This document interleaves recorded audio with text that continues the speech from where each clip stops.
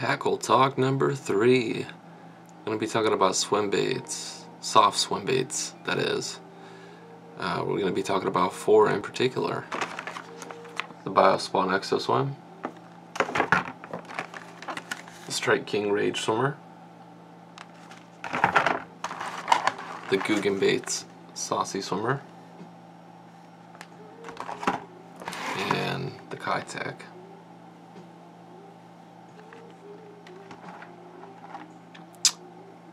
So sit down, chill out, stay tuned, and uh, enjoy.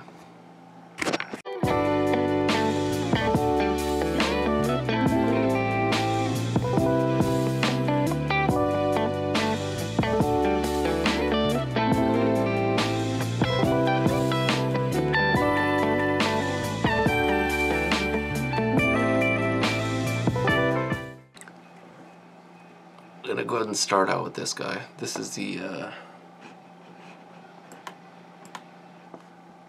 this is the Rage Swimmer.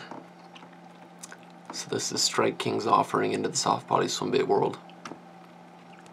Uh, I think these have been around for a long time.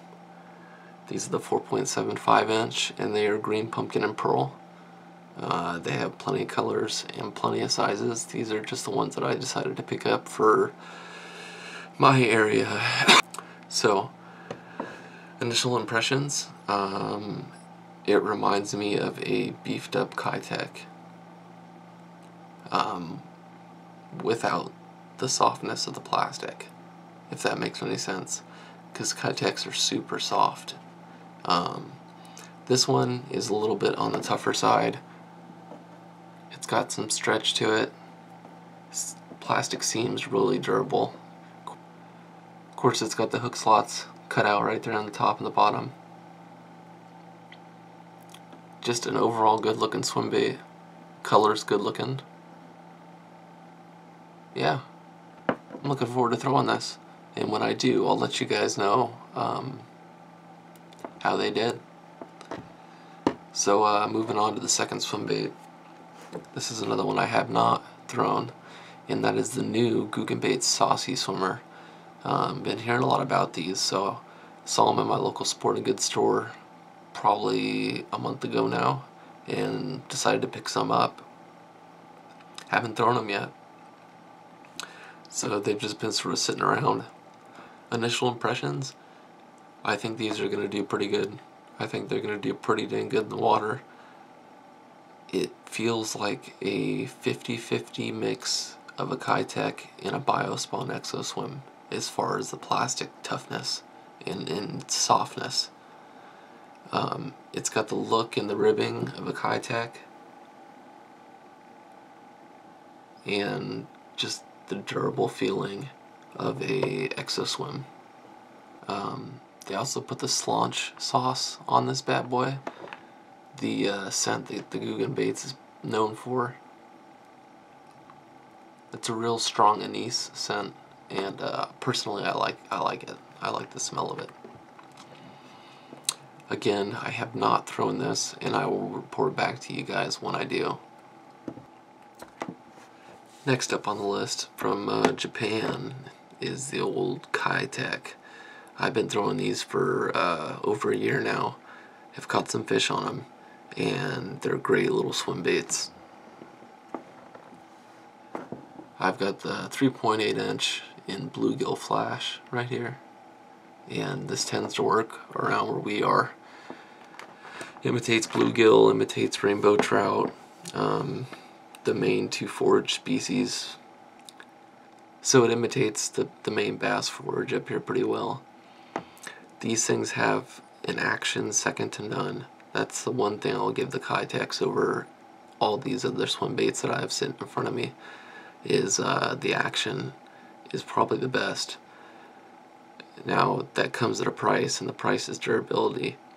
So, you know, I guess it's up to you as an angler to decide what what kind of balance you want in your swim baits or baits in general. So yeah, the Keitech, I think everybody's thrown a Keitech, good lord. Um, they've been around and they're fish catching machines. So get you out and get you some and uh, toss them around. You're gonna catch something. Last on the list is um, per personally my favorite swim bait, which is the Biospawn Exo Swim. I've caught plenty of good fish on this, and uh, I actually caught my first bedfish on a Biospawn Exo Swim.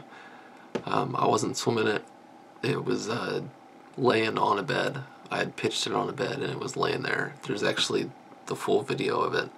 If you go onto my channel, it's titled just bedfish and it's cast to catch of me throwing one of these, not this color, but a Biospawn Exo Swim right on a bass bed and uh, catching her. But uh, anyways, it's besides the point. This is uh, the Biospawn Exo Swim right here, guys.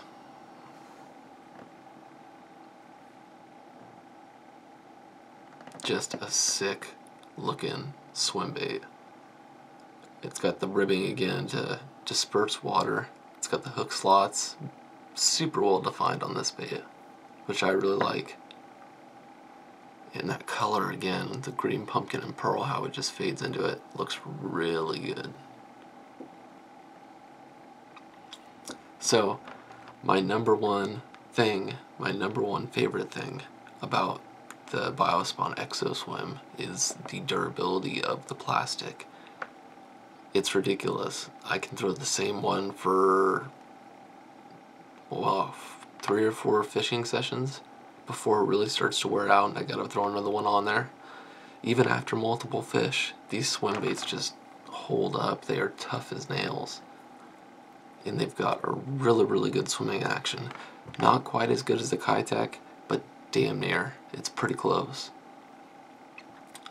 They make these in the 4.75 inch, which is what I'm holding right now, uh, 3.8 and a 3.25, or it's a 3. 3, 3 or 3.25, one of the two. But they make them in, in three different sizes, plenty different colors. This just happens to be one of my favorite colors, green pumpkin and, and pearl, like I've said a thousand times. Alright, well that's going to do it for this short little episode of uh, Tackle Talk talked about some swim baits, and uh, I've got a couple to get out and throw and test. And um, yeah, hope you enjoyed. And we'll see you in the next one.